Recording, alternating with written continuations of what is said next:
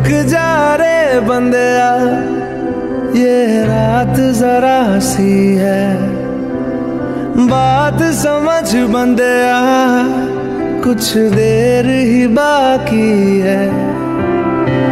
रख यकी आँखों से बादल, आज हट जाएगा। चाँद तेरी आँखों में बंदया, चल के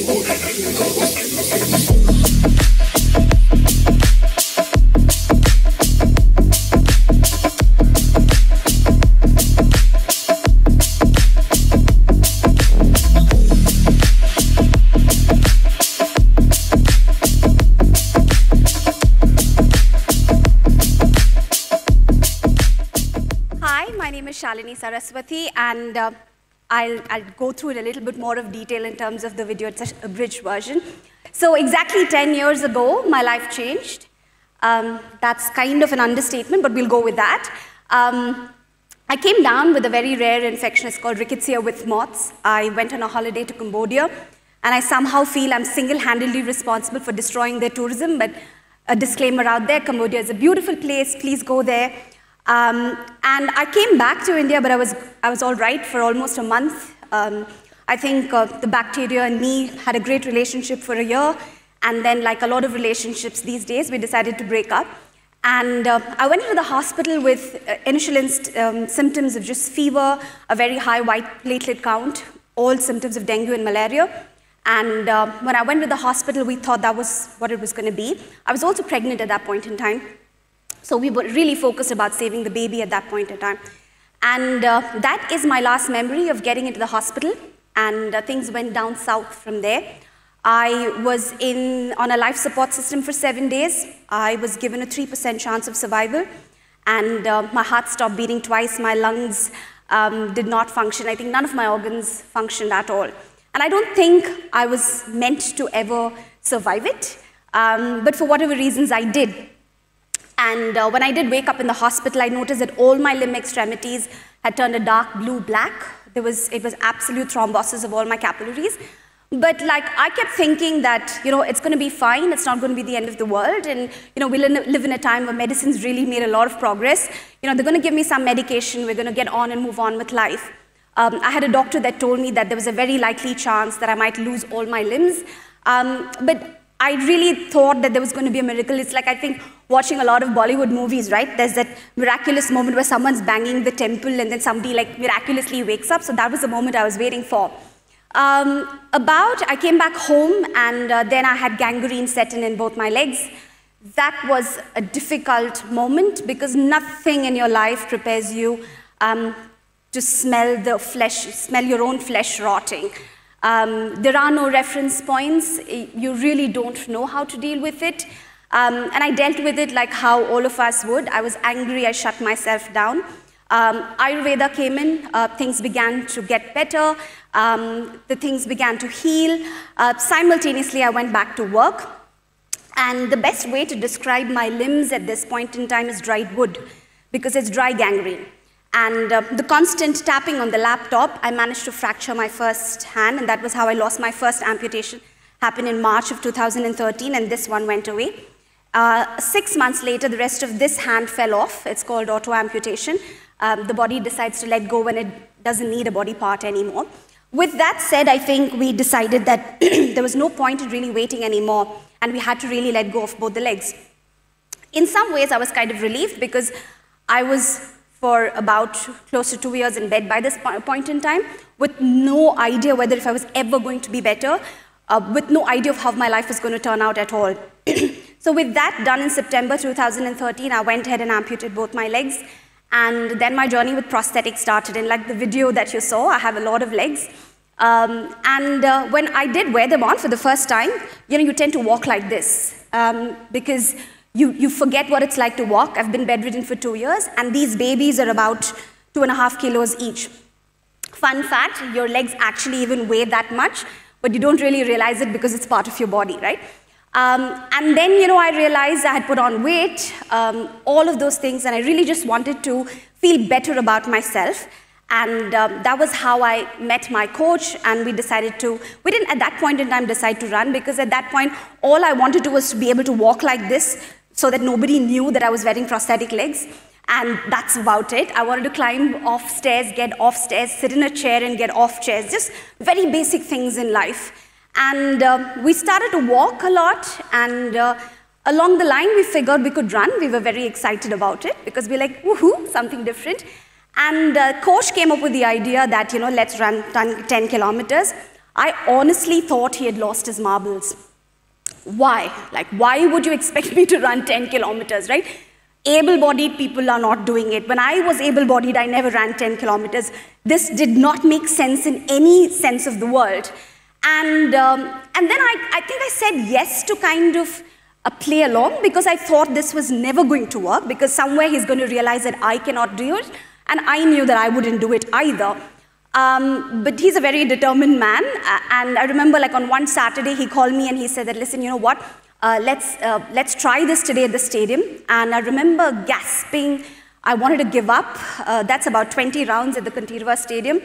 And I said, listen, I don't think I can do this, but he wouldn't let go. And he pushed, and I remember how I felt that day. I felt like I had climbed up the Himalayas, and that was what I felt, and I realized that this was for me. And that's how I ended up in running my first TCS in 2016. I did an abysmal job of two hours, and uh, I ran again the next year because I wanted to redeem myself and do better, and I did it in an hour and 35. Um, today, I, and then after that, um, you know, bhagne ka bhoot chadaya, if that's how you want to say it. But uh, then we decided that we were going to go into professional athleticism, which, again, uh, to decide to do that once you're 30, not really the smartest decision in the room, but that's what we went with. And uh, today I am a 100 meter sprinter. I got my first national medal last year, and I followed it up with another medal this year. And uh, the, the, the dream is to try and make it to the Asian Games was this year, but thank you, COVID, again, it's got moved to the next year. So somehow I always think that, you know, this is the last year I'm going to run, and then I'm going to eat, right? Uh, but somehow the universe has other plans for me, and I have to wait for another year and not eat, and hopefully then do the Asian Games next year. Um, of course, I think running's what's helped me heal. It's um, it's been the magic potion that has absolutely healed me. It's given me the wings that I thought I had lost. Um, it's healed me in so many ways. It's given me back my confidence. It's made me feel okay with my body. Because, you know, you don't, it takes you a really long while to become okay with looking at this in the mirror. Um, and I think more than anything else, I think running has given me so many moments to point my non existent finger into the sky and tell the person up there that they chose to mess with the wrong person. You know, I was larger than that and there was no getting back to me. Now with that, I'm going to, I'm sorry, I'll have to do this with a little bit of notes. Um, I'm just going to learn, point out some of the key lessons that I've had that's really helped me get through with my life. I think the first thing is acceptance is the key to moving forward. Now, um, for very long, I think um, I couldn't accept what has happened. Um, it's not an easy thing to accept as well. You know, for 32 years, I was able bodied. And uh, then to wake up with all your limbs missing, and then to also accept the fact that you are dependent on another human for the rest of your life, even to get a glass of water, it's not the easiest thing to do. And, you know, I was angry for very long. I was angry with the world. I was angry with God, the universe. I was angry with anybody who had limbs for very long because I couldn't understand why I deserved it. Um, because, you know, we're, you know, as you sow, so shall you reap. And in my head, I didn't sow anything so bad to be able to get this in life, right? Um, And like we're always told as we were growing up, if you do good things, good things happen to you. If you do bad things, bad things happen to you. And I couldn't for the life of me figure out like, what did I do so bad that I had deserved something like this? And there are just so many tears from the physical pain as well. And the key fundamental truth is that no matter how I felt about my situation, um, my situation does not change. I could be angry, I could be upset, I could be depressed, I could have anxiety about it. But what just stays with me is those emotions. But my situation does not change unless I decide to embrace it and accept it and say, hey, it's a part of me. What I learned is what I can't change, you endure. And you know, I think um, uh, I didn't really realize that was what I was doing unless I read the book called Forest of Enchantment. If you've read it, it's by Chitra Banerjee. It's, uh, it's the Sitayan, it's Sita's version of the Ramayana. So it's the perspective of Ramayana from Sita, right? So there's a last part in the book where Sita is, um, you know, has been banished by Ram from the kingdom. She's, she realizes that she's pregnant with her children. She's very angry about it. She's very upset about it. And she sits in a little forest and she's having this conversation. I'm going to read out this part for you. It says, All the way back, I pondered the word endure, what it meant. It didn't mean giving in, it didn't mean being weak or accepting injustice. It meant taking the challenges thrown at us and dealing with them intelligently as, as intelligently as we can until we grew stronger than them. That is what I'm going to work on. And I felt like that so much resonated with me because that was the only way that I could deal with it, that I'm going to work uh, with it as intelligently as I can until my disability becomes my strength. And that's where we are right now. The second is about running and how it's helped me. Um, so I was telling you about, um, you know, I, I, was in a very similar forum like this. Somebody asked me, why didn't I choose something that was easier? Why do you choose running? That was a very interesting question, I thought, because I didn't look, up, look at it that way at all. Like, running happened to me, and, and I don't really like running. It's tough. It's like, I don't even know why I do it, but yeah, but it's crazy, right? And, um, and but I think like I really like the person that I am after I finish my run. And that's what works for me, right? Um, during my first race, um, it was a really hot summer in May to 2016. Like it was so hot that the Kenyans were fainting, right? So that's something to talk about.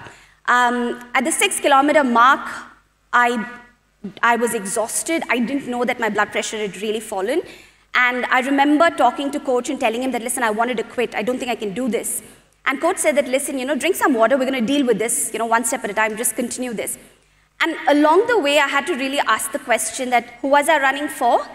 And the answer really was for me that, Charles, if you could run, this, run this race, you can deal with the rest of your life. And that's what running became for me, right? It became the way that this is going to get me through the rest part of my life. And, uh, and, and that's why I continue to do it. Um, and if you had asked a doctor that day, like, was I physically fit to do that race that day?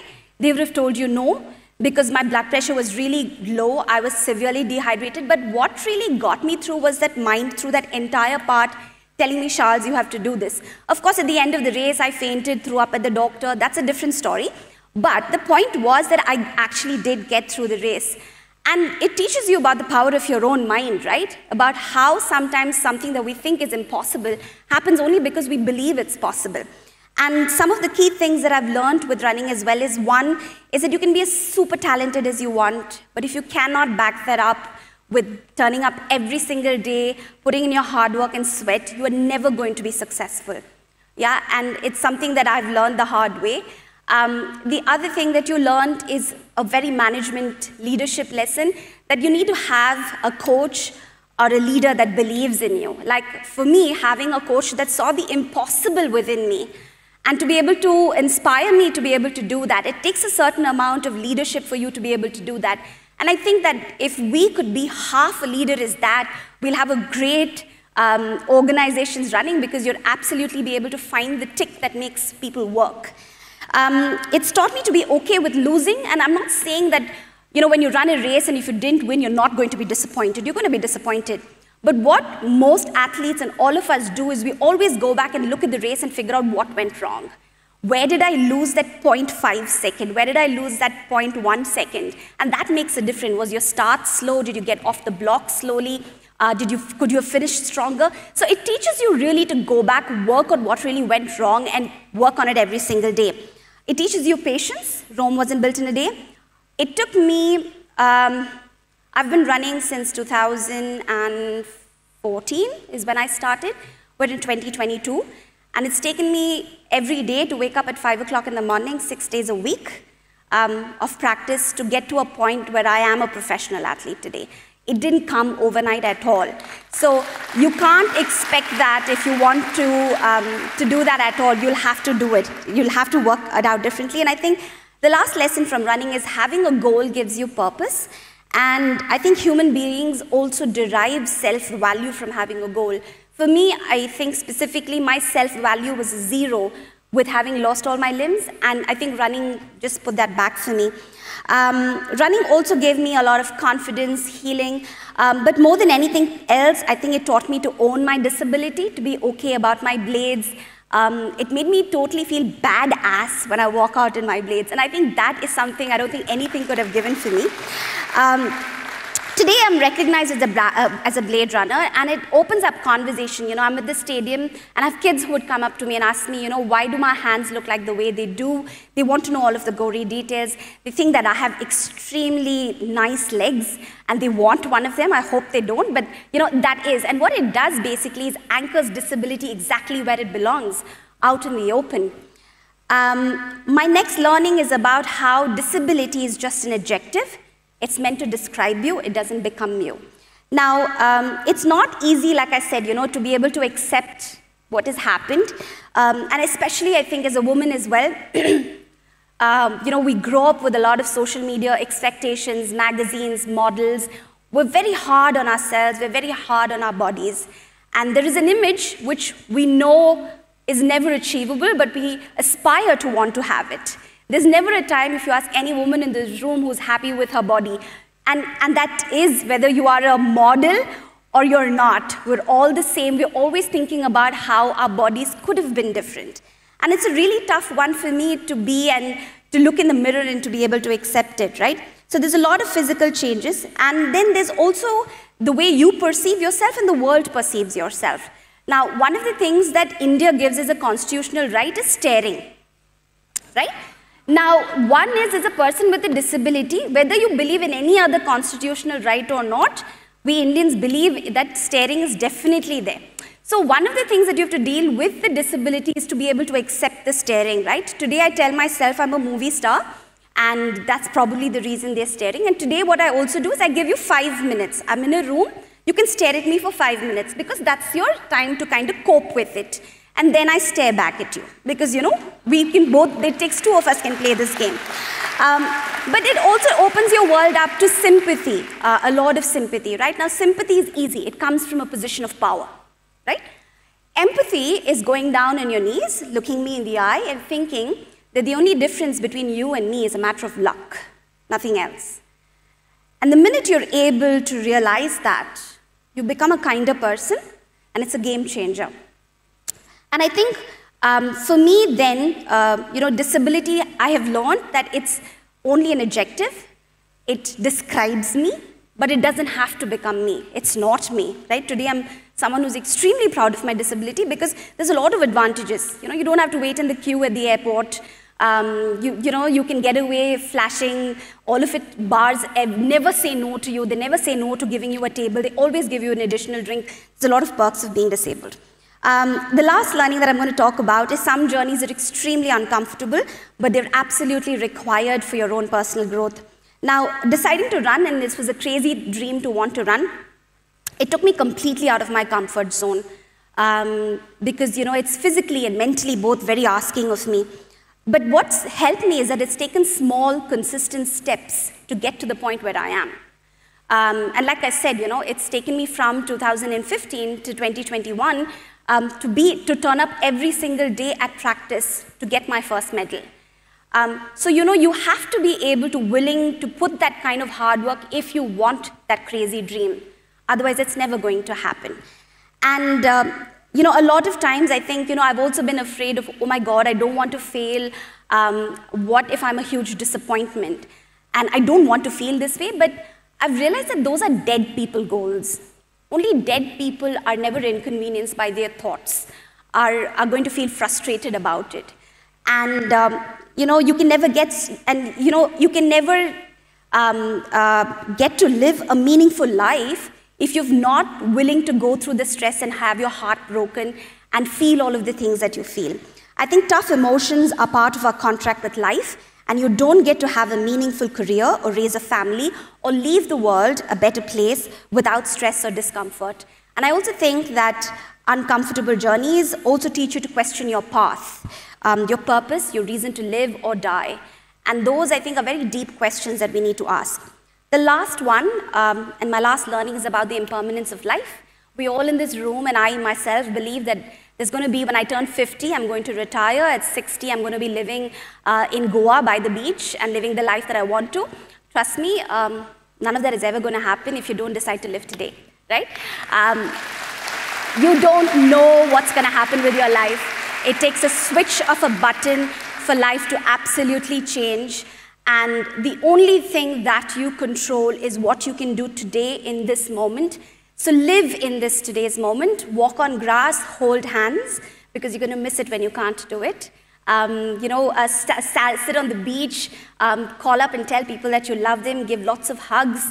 Uh, you never know uh, when life's going to change, so all you can do is do that. Maya Angelou says that um, um, you know, every, it's, it's never the buildings or uh, your legacy is not the buildings that you build, it's every life that you've been able to touch. So I hope for everybody in the audience today that you can look back at your life and think that you've at least been able to touch one life. Um, I'm going to give live you, I know my time's up, but I'm going to leave you with one, one last um, poetry. It's not mine, but it's somebody who's obviously very sensible who's written it. Someone once told me to always live for the little things in life, live for 5 a.m. sunrises and 5 p.m. sunsets, where you've seen the colors in the sky that don't usually belong. Live for road trips and bike rides with music in your ears and wind in your hair. Live for the days when you're surrounded by your favorite people who make you believe that the world is not a cold, harsh place. Live for the little things because they will make you realize that that is what life is about. That is what it means to be alive. So, have a beautiful day, everybody. Thank you.